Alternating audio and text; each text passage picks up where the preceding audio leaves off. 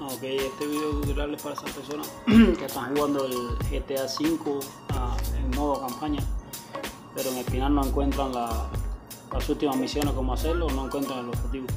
Porque es bien sencillo, van a abrir su teléfono, van a buscar el mensaje, van a abrir mensajes, déjame meter un poquito para acá porque la verdad no se ve mucho. Van a abrir mensajes y el mensaje van a buscar ah, este que dice información de localización de, los autos o de los carros. Lo vamos a abrir y ahí va a salir, este está en este caso en inglés, pero lo va a poner en español. Ahí le van a decir dónde está la primera localización del primer carro, que es este que está aquí. Y seguido lo siguen corriendo hacia abajo, esta localización del mapa exacto donde está.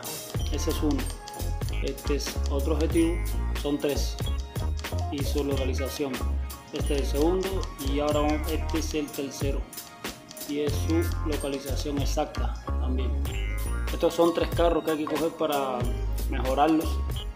Ponerle nitro y mejorarlos para cuando uno vaya a hacer la última misión, robarle el oro y que los carros estén ah, en buenas condiciones para poder correrlo. En este caso lo robé con, todos lo hice con Trevor, que era el que más dinero tenía, pero ustedes lo pueden hacer con el que quieran. Ya me gané la misión, ya Trevor también tuvo que matarlo, si no, pero bueno, en este caso ah, esto es lo que hay que hacer. Es todo, de ir cuando terminen esas tres misiones y lleven los carros a, donde tengan que llevarlos, ya automáticamente eh, la misión se les va a abrir, entonces van a ir a robar lo que es el oro y después ya, bueno, sencillamente lo que va a pasar, pues y se lo dejo para que se lo ganen y ya en este caso yo no lo gané, pero para las personas que no se lo han ganado ya saben cómo encontrar la, la misión.